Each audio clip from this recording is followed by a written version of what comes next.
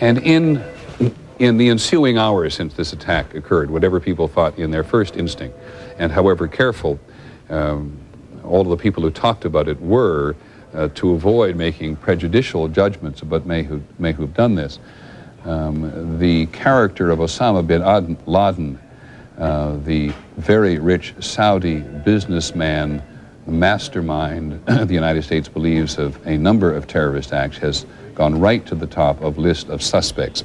And I don't know of anybody who knows more about bin Laden outside the Intelligence Committee and maybe inside, or who's had any anything like the contact with him that ABC's John Miller, who was here with us for most of the day, has had.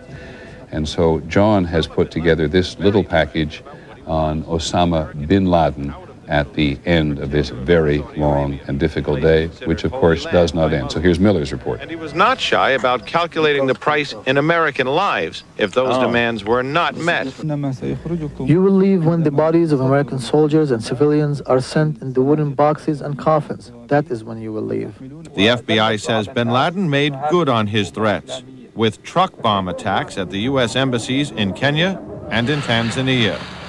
258 people were killed in the bombings, hundreds were injured. More than a dozen men with ties to bin Laden have been charged with carrying out those bombings.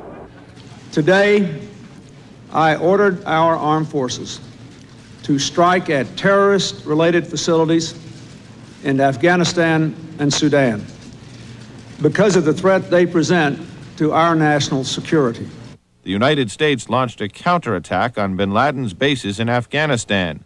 But before the missiles hit, bin Laden and his inner circle were already in hiding.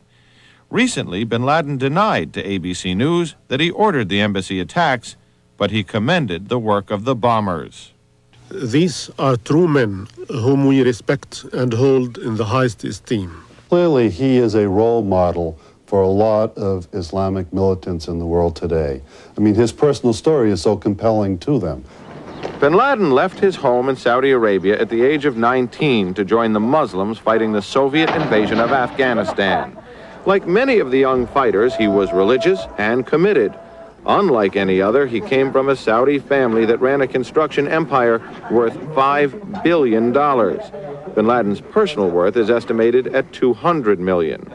Yet he sacrifices all of that to take up what he believes is a religious duty, an obligation to expel the atheistic invaders of a, of a Muslim country. We must use punishment to keep your evil away from Muslims, Muslim women and children. To understand bin Laden's hatred for America, you have to put the U.S. in the context it is seen by many Muslims. Americans impose themselves on everyone who believes in his religion and his rights. They accuse our children in Palestine of being terrorists, those children who have no weapons and have not yet even reached maturity. We asked bin Laden about Somalia. The United States referred to the military operation in Somalia as a rescue mission to prevent genocide by warring tribes. But bin Laden simply viewed it as another invasion of an Islamic country American intelligence agencies believe it was bin Laden who dispatched his personal brigades with rocket launchers to shoot down U.S. helicopters. 18 U.S. soldiers were killed. Bin Laden does not deny he had a role and revels in America's retreat from Somalia. Our people realize more than before that the American soldier is a paper tiger that ran in defeat after a few blows. America forgot all about the hoopla and media propaganda and left dragging their corpses and their shameful defeat. And in Saudi Arabia, another kind of warfare. In November 1995, a bomb exploded at the Saudi National Guard training center in Riyadh, killing five Americans. The bombers made videotape confessions saying they were inspired by bin Laden. We look at these young men as great heroes and martyrs who followed the steps of the Prophet, peace be upon him. We called and they answered.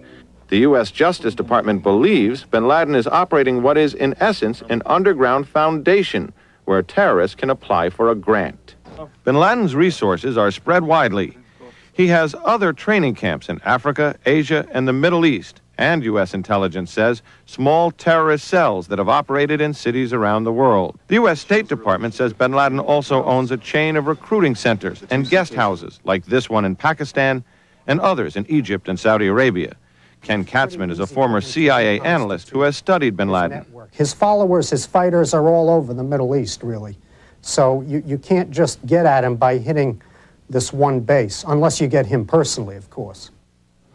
ABC's John Miller, who's been with here with us through much of the day, one of the few people we've ever, as I said, who's ever spent time with uh, bin Laden in Afghanistan. And while we do not know, I did re-emphasize, as virtually every security analyst has who we have talked to today, say we do not have any firm handle yet on who perpetrated this act today.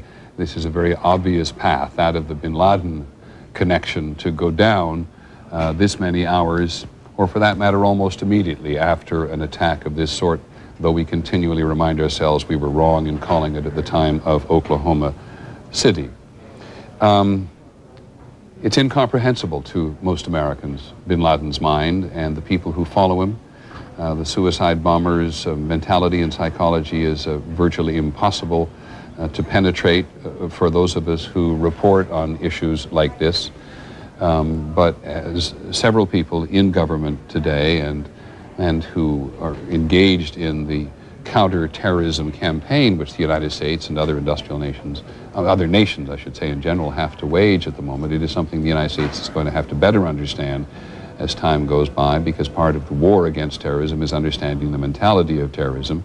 Force has its place, but so does understanding the mentality of the people who regard the United States and in many cases Israel, United States partner in the Middle East where so much of this is involved, have to understand what it is uh, that moves them